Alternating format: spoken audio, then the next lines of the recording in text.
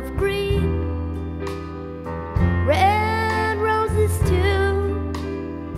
I see them blue.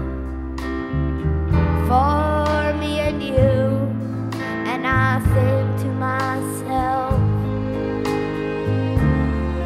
what